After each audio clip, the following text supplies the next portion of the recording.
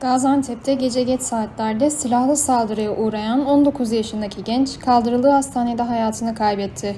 Olay sonrası kaçan katil zanlısı ya da zanlılarını yakalamak için çalışma başlatıldı.